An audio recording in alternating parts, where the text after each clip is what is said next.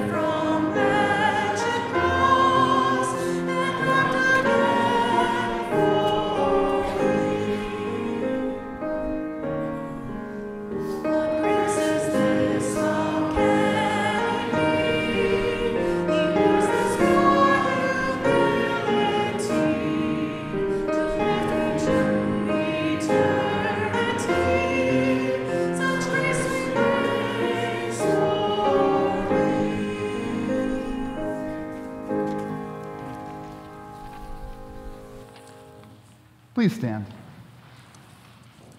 Again, our service is in our worship folder and also page 154 in the front part of the hymnal. In the name of the Father, and of the Son, and of the Holy Spirit. Amen. If we claim to be without sin, we deceive ourselves, and the truth is not in us. If we confess our sins, God is faithful and just, and will forgive us our sins and purify us from all unrighteousness. Let us confess our sins to the Lord. Holy God, gracious Father, I am sinful by nature, and have sinned against you in my thoughts, words, and actions. I have not loved you with my whole heart.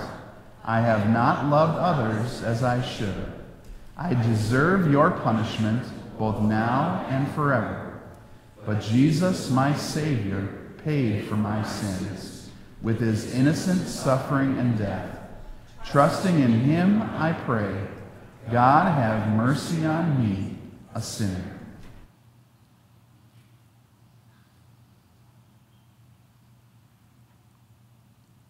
Our gracious Father in heaven has been merciful to us. He sent his only Son, Jesus Christ, who gave his life as the atoning sacrifice for the sins of the whole world. Therefore, as a called servant of Christ and by his authority, I forgive you all your sins in the name of the Father, and of the Son, and of the Holy Spirit.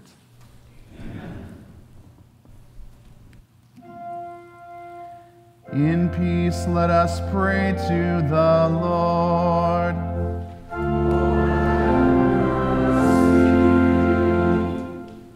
For the peace from above and for our salvation, let us pray to the Lord.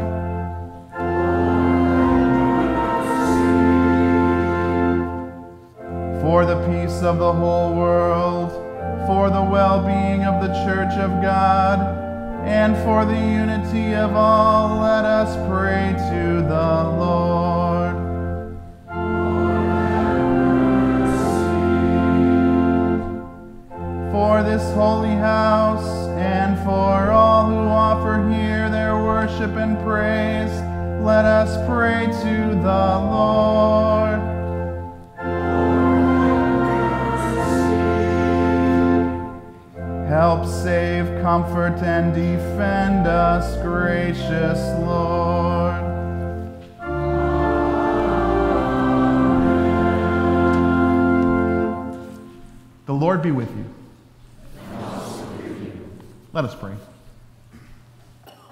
Almighty God, you see that we have no power to defend ourselves. Guard and keep us both outwardly and inwardly from all adversities that may happen to the body and all evil thoughts that may assault and hurt the soul. Through your Son, Jesus Christ our Lord, who lives and reigns with you and the Holy Spirit, one God, now and forever. Amen. And you may be seated.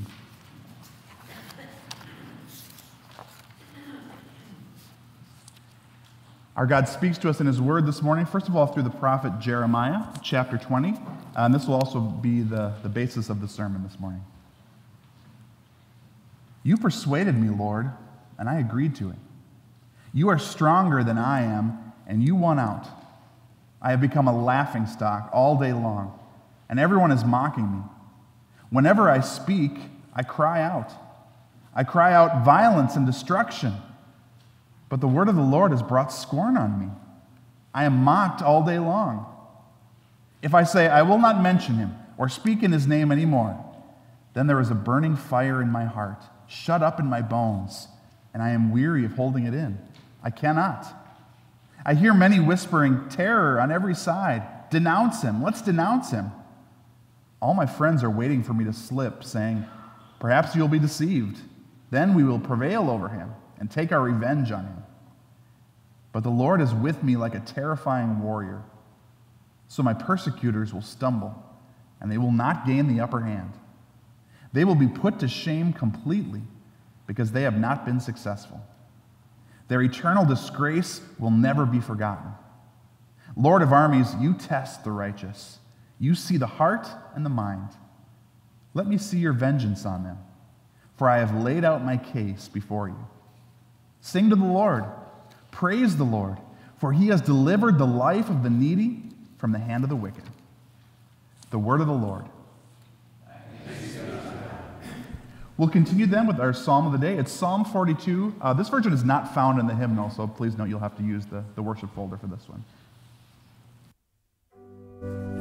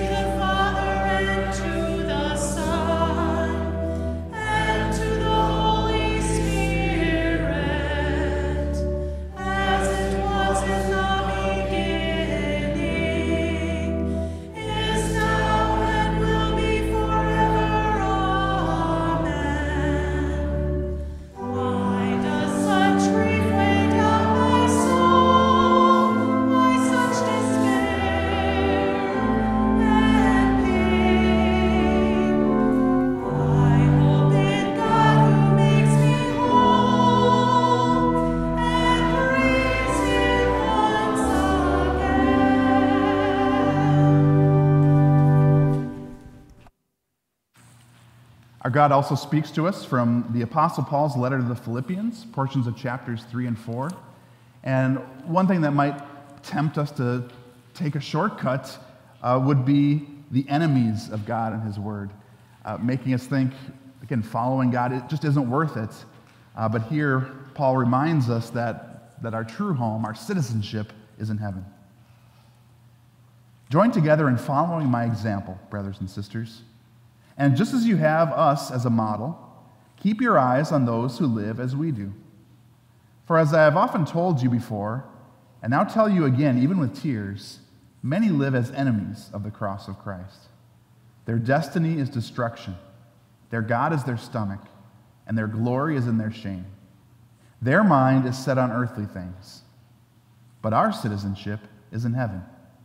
And we eagerly await a Savior from there the Lord Jesus Christ, who, by the power that enables him to bring everything under his control, will transform our lowly bodies so that they will be like his glorious body. Therefore, my brothers and sisters, you whom I love and long for, my joy and crown, stand firm in the Lord in this way, dear friends. The word of the Lord. I invite you to please stand for the gospel.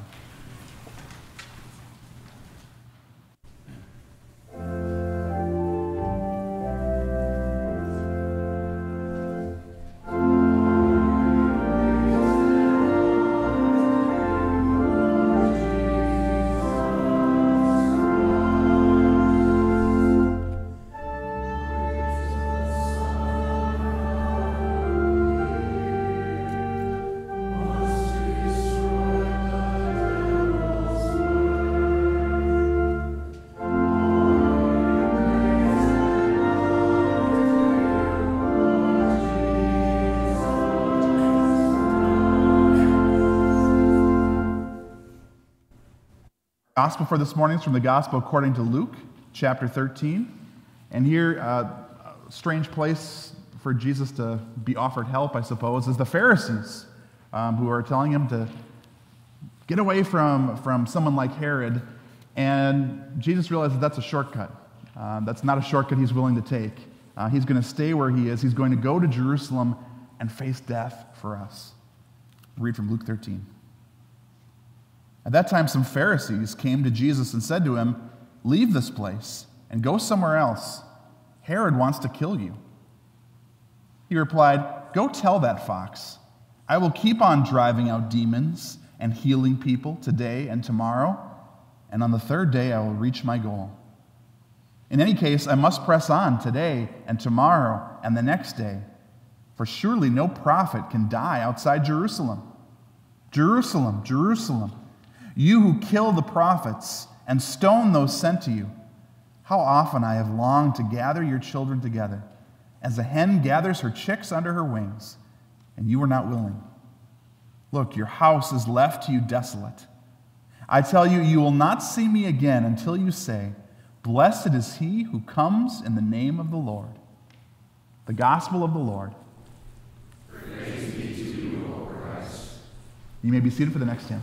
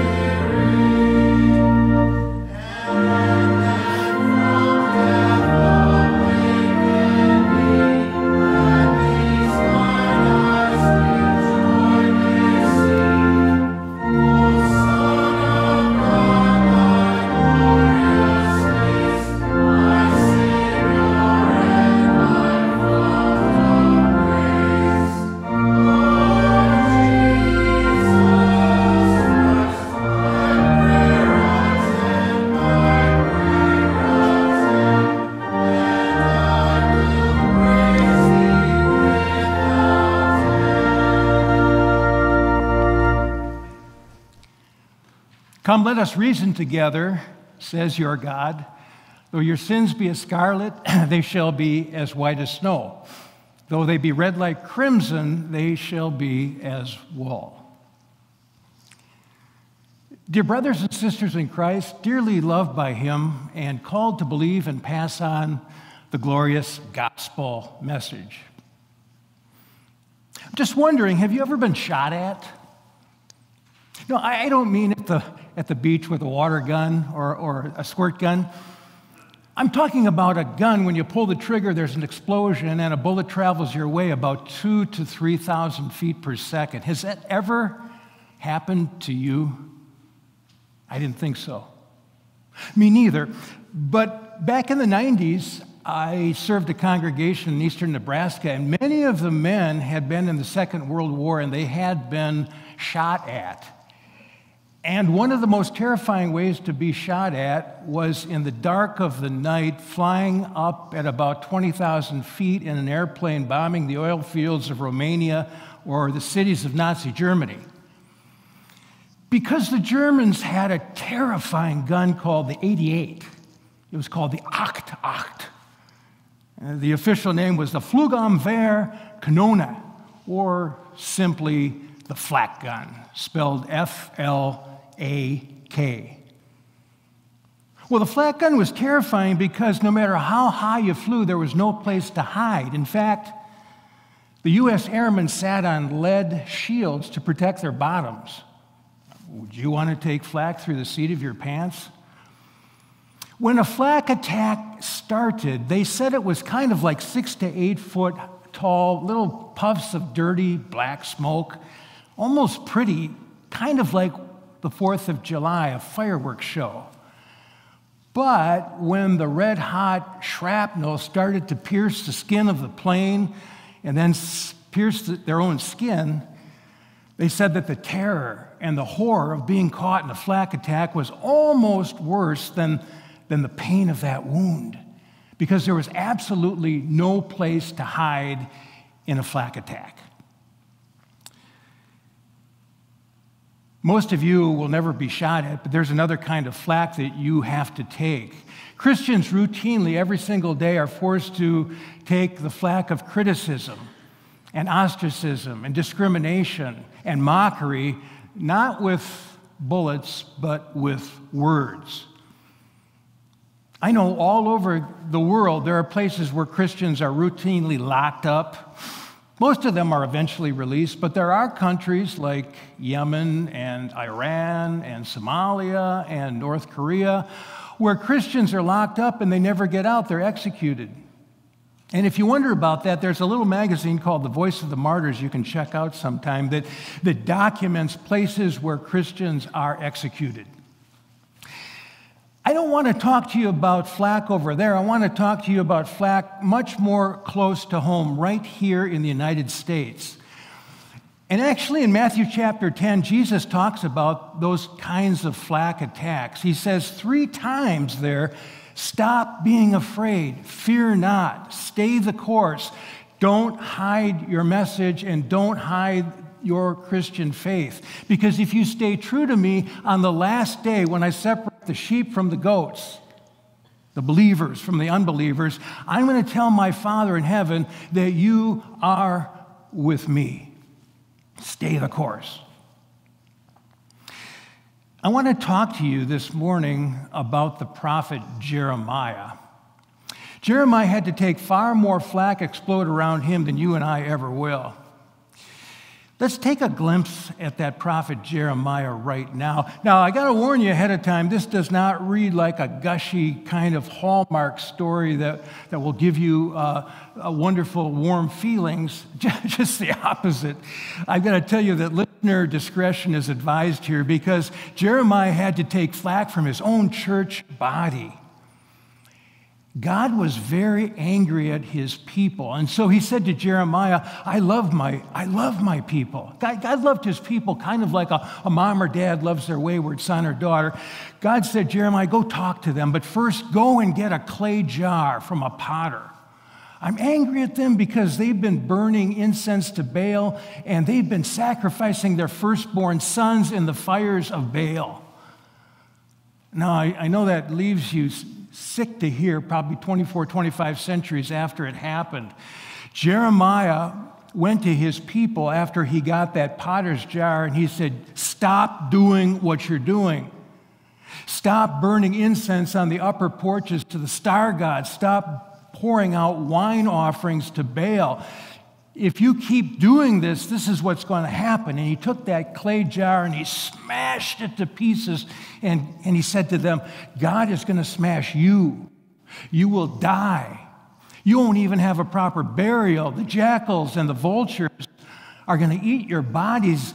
And those of you that are left won't have any food and you'll be forced to eat the dead.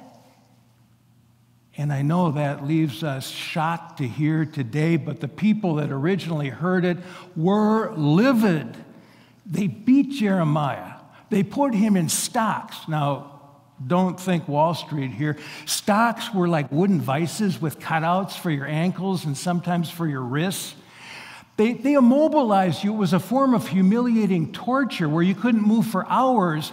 But the message was very clear we are your masters. You must do what we say. We can deprive from you basic creature comforts like, like sleep and food and water and shelter and the toilet.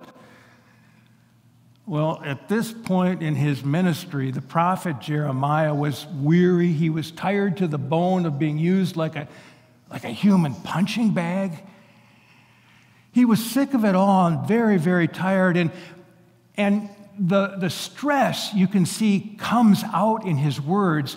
We're going to take through this section of our text now. It's, it's Jeremiah chapter 20. We're going to be reading here starting at verse 7, and we're going to be taking a verse or two uh, at a time.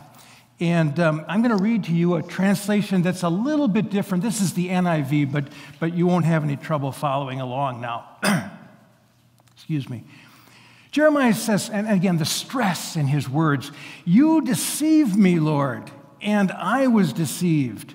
You overpowered me and prevailed. I am ridiculed all day long. Everyone mocks me. Well, maybe it's already happened to you what happened to Jeremiah. Maybe it was at work or at school. You were just doing your job and you had to take flack. People were very good at putting the guilt on you, and they made something that was their fault sound as if it was all your fault. Now, now why does that happen? How does that happen? Well, you've got to understand that we're living in what's been called a, a no blame society. Nothing is ever anybody's fault. Where did that begin? How did that happen? Well, it happened with Father, Father Adam, who said, Lord, the woman that you gave me to be my wife, she gave me the fruit and I ate it. But Lord, it wasn't my fault. It wasn't my idea. It was her fault. That's the blame game.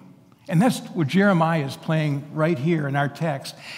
And that's what I do, and that's what you do, because we too have a, have a depraved human nature that's hardwired all the way back to Father Adam. Well, he goes on in verse 8 and 9 Whenever I speak, I cry out proclaiming violence and destruction. So the word of the Lord has brought me insult and reproach all day long. But if I say I will not mention his word or speak any more in his name, his word is in my heart like a fire, a fire shut up in my bones. I am weary of holding it in. Indeed, I cannot. Now, I think I would have had to say what the prophet Jeremiah said Lord, I'm just doing your job. I'm your prophet. I'm just saying what you told me to say. And, and Lord, I, I, don't do the stocks very well, and I'm, I'm, I'm really uh, not willing to get beat up anymore, even for you, God. I, I'm just sick of all this. So, so Jeremiah finds himself in a terrible dilemma. He's, he, he's in deep despair because the people that he loves dearly are not listening to him. And if he waters down the message, he's going to risk losing friendship with God.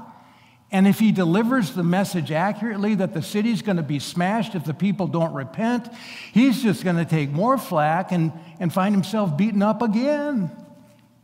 And in fact, I think it's like 17 chapters after this happens, Jeremiah is back in a dirty dungeon, and the very next chapter, he's in a filthy cistern, forgotten and basically left to rot.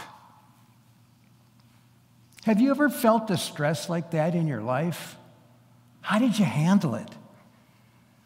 Maybe the conflict was at work or at school. People were telling off color jokes and you wouldn't join in, or they were smearing somebody's name and you didn't take part in that. Or, or, maybe it was you wouldn't experiment with the illegal stuff and people noticed that, and the people that you thought were friends slowly started to leave you, and it got worse, and eventually the insults came your way and the mockery came your way, and you had no friends at work or school anymore. How did that feel? Well, when that happens, don't forget what James says in his little letter. He says, Friendship with the world is hatred toward God. He says, Anybody that wants to be a friend of the world becomes an enemy of God. But, but I know, I know it, it's not easy, right? The reproach and the criticism and the flack, that all stings. And when that happens, do what Jesus says in Luke chapter 6. Hear his words. I think we studied this about a month ago. That was the blessings and the woes. Jesus says, Leap for joy when that happens. Rejoice. He says, Your name is written in heaven. This has always happened to God's people. They've always had to take flack, they've always been criticized. And if anything, this is a sign that your faith is genuine and real. But don't despair because rejection from people that don't love the Lord is never, ever a failure. In, in, fact, it's just the opposite. It can be a blessing. When people do those things, when there's the bully at school who takes advantage of you, or, or, or the people conniving behind the scenes to get your job at work, or, or maybe it's simply people that, uh, that, that, are mean, that, that have it out for you. Jeremiah gives us two wonderful promises to get you through those tough times. The first one, promise number one, is in verse 11. We're going to skip verse 10 here. Verse 11, but the Lord is with me like a mighty warrior. So my persecutors will stumble. I love that. Stumble and not prevail. They will fail and be thoroughly disgraced. Their dishonor will never be forgotten. So when you face flack like Jeremiah, God says you're never going it alone. He says, I'm your Delta Force. He says, I'm your Navy SEALs team. I'm going to fight for you. I'm going to protect your reputation, your honor. I'm going to protect your family. And this was the ty- type of big time promise that got that boy, David, through and made him a giant killer and made Goliath fall. I think we read that last Sunday in one of the lessons. It's a tremendous promise. God says, You will prevail. It's almost as if God is saying, I'm going to stick out my foot and I'm going to trip up those people that are coming after you. It's a beautiful promise. And then promise number two is in verse 12.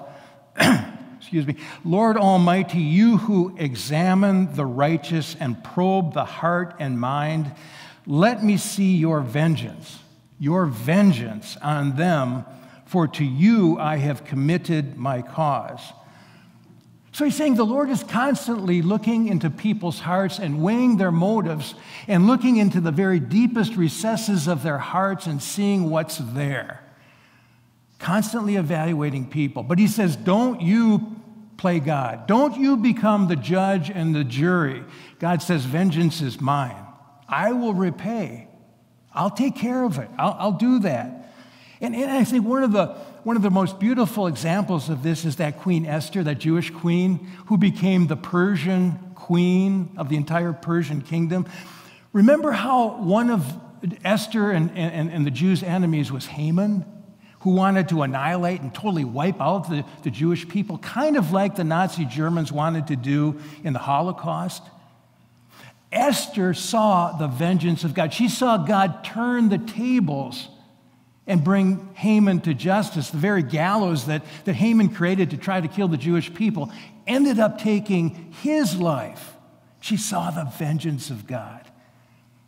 And that's why we don't do that. That's why we don't and can't look into people's hearts the way the Lord does. That's why there's no room for hatred or payback or retribution. Jeremiah is saying, let the Lord do that. Well, the section ends with verse 13, uh, kind of in a beautiful sort of doxology almost. Sing to the Lord, give praise to the Lord. He rescues the life of the needy from the hands of the wicked. So the Lord is saying, I'll take care of this. I'll do the payback. I'll bring people to justice. But in the meantime, I'm asking you to do something that's very, very difficult to do. I'm asking you to do what the Lord Jesus did when he faced his tormentors. I'm asking you to forgive the people that are throwing flack your way because, in many cases, they really don't know what they're doing. And when you think about it, the Lord Jesus redeemed us and he brought us back to God by taking an enormous amount of unjust flack. He prayed for his executioners. He let a very close personal friend torment him. He suffered between five and seven unjust trials. When he hung on the cross for six hours, he took an enormous amount of mockery and criticism from many, many people. But by taking all that flack, he brought us back to God. So our reaction then is, is, is, give him the glory. Praise his name. Glorify him in the songs as you're doing this morning. Understand that the Lord is, is not just the lifeguard of your soul, but he's the lifeguard of your body. And he's got a wonderful record of taking very good care of you when he sees people trying to take advantage of, of you. That's because you're the apple of his eye.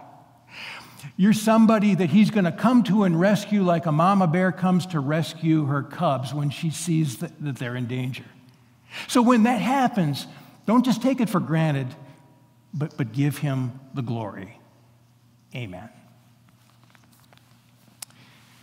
The peace of God that surpasses all understanding will keep our hearts and our minds through faith in Christ Jesus. Amen. Would you uh, please stand now as we confess our Christian faith using the words of the Apostles' Creed? I believe in God the Father Almighty, maker of heaven and earth. I believe in Jesus Christ, his only Son, our Lord, who was conceived by the Holy Spirit, born of the Virgin Mary, suffered under Pontius Pilate, was crucified, died, and was buried. He descended into hell. The third day he rose again from the dead. He ascended into heaven and is seated at the right hand of God the Father Almighty. From there he will come to judge the living and the dead. I believe in the Holy Spirit, the holy Christian church, the communion of saints, the forgiveness of sins, the resurrection of the body, and the life everlasting. Amen. You may be seated.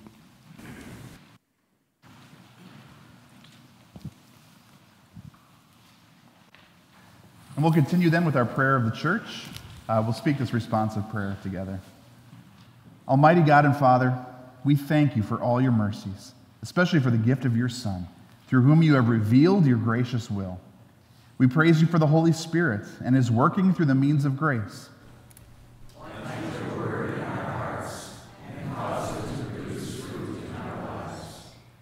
Strengthen and defend your church, that by your word and sacraments faith may grow and love toward all may increase.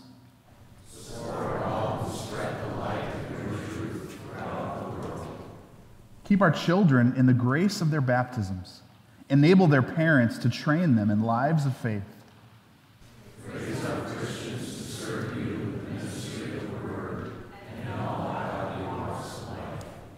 Preserve our nation in justice and honor. Guide and bless all who make, administer, and judge our laws.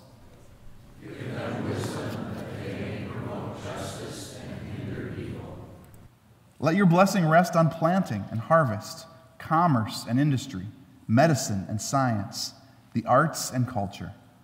Protect all who travel and care for those whose work is difficult or dangerous.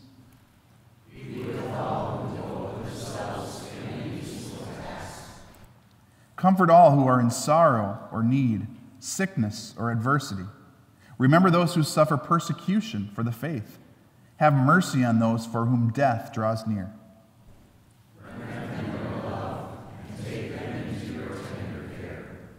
And hear us, Lord, as we pray in silence.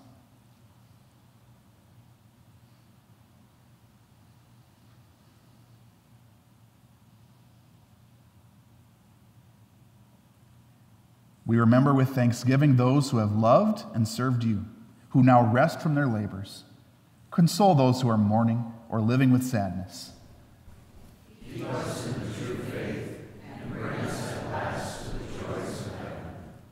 Grant us these things, Father, for the sake of Jesus, who died and rose again.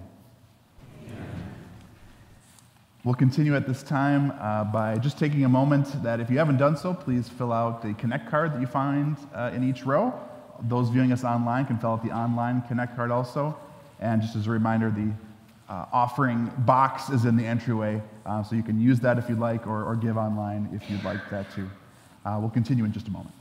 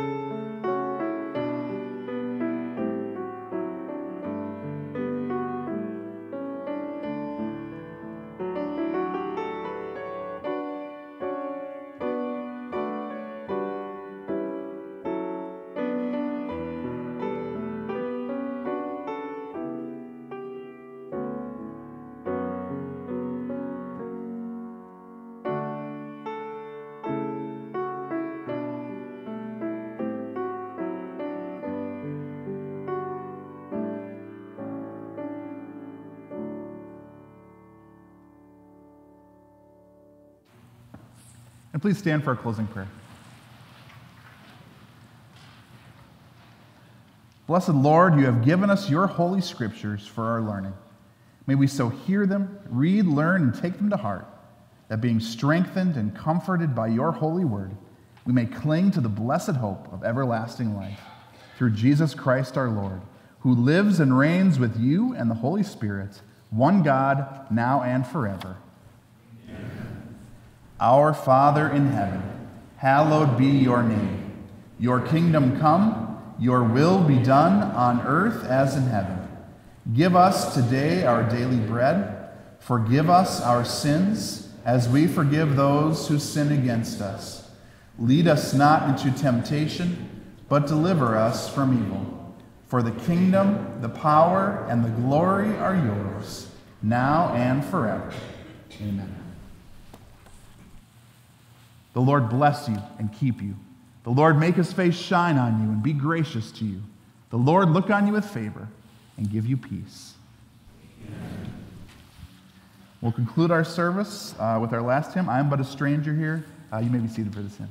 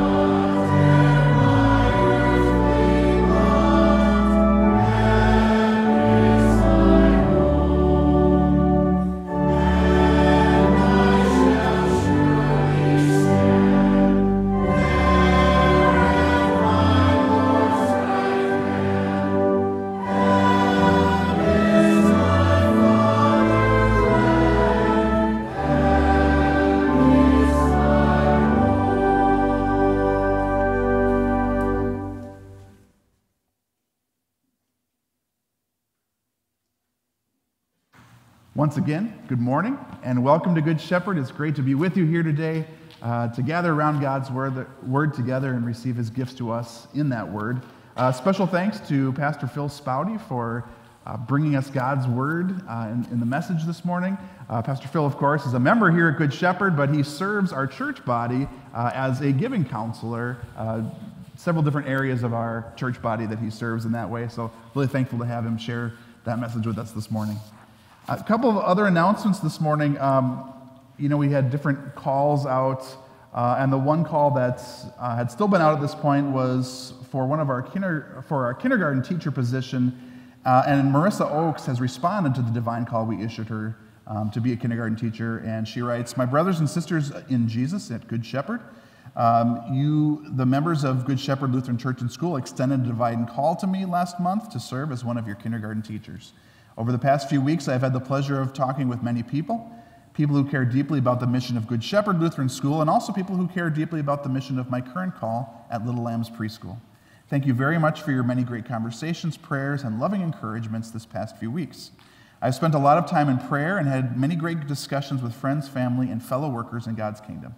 And after careful deliberation of both calls and praying where I can best serve God's kingdom, I share with great excitement and peace in my heart that I am accepting the call to be one of your kindergarten teachers for the upcoming school year. I eagerly look forward to serving Jesus alongside each one of you and teaching the love of Jesus to all these precious young children. I have been humbled with this deliberation and the plan God has for me as his vessel, and I ask that you please keep me in your prayers as I finish my school year at my current call, transition to Good Shepherd Lutheran School, and begin the upcoming school year. Also, please keep Little Lambs Preschool and the Shepherd of the Hills congregation in your prayers as they call for a new teacher and continue their amazing mission to teach his little lambs. Thank you again for the trust and confidence you have extended to me through this call to serve your school. In the name of Christ, our living Lord, Marissa Oakes. Uh, so we give thanks for that, uh, for, for, Marissa, and be sure to talk to her if you get a chance and uh, talk to her about that. Um, we do still have a first grade position that we're trying to fill, so we will be we sort of phrase it, we'll be continuing our call meeting for that. And that will be continuing uh, this Wednesday, March 16th.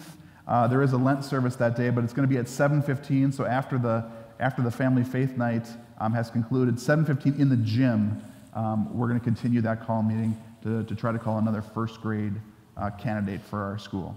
Um, there's also, we're also planning a voters meeting. Uh, it's, in a, it's in a couple weeks, Sunday, March 27th uh, at 6.30 p.m. The, the leadership team has been looking at the possibility of, you know, we're, we're going to be, um, Lord willing, finishing our, our parking lot, and that will be done, that huge project. But then there's these other maintenance projects that are, are sort of also now hanging out there, and what are we going to do? And so they're going to talk about possible ways to address uh, the funding of, those, of that maintenance project, um, including even possibly a mortgage refinance. So that's the goal of that meeting on March 27th um, is a voters meeting to, uh, to discuss moving forward with those projects.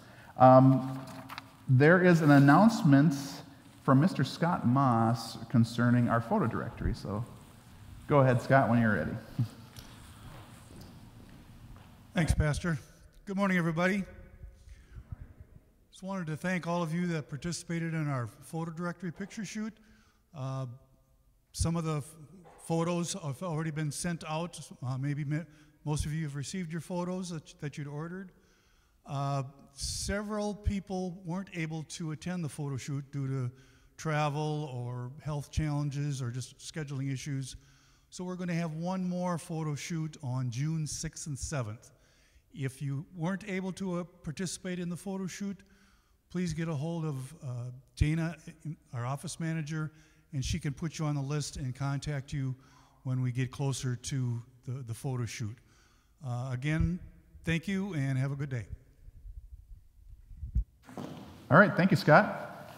Uh, with that, we also have uh, refreshments available today. We'd love for you to, to join us with those. Uh, be sure to greet people near you and, and far from you if you'd like, uh, but greet people uh, as we get to, to rejoice in, in being fellow sheep in God's flock under the Good Shepherd this morning. So Thanks. Uh, God's blessings on your week and rejoice even when, uh, as we are told, even when we have to take flack, uh, we rejoice in our Lord's power and protection of us. Thanks. We'll see you again.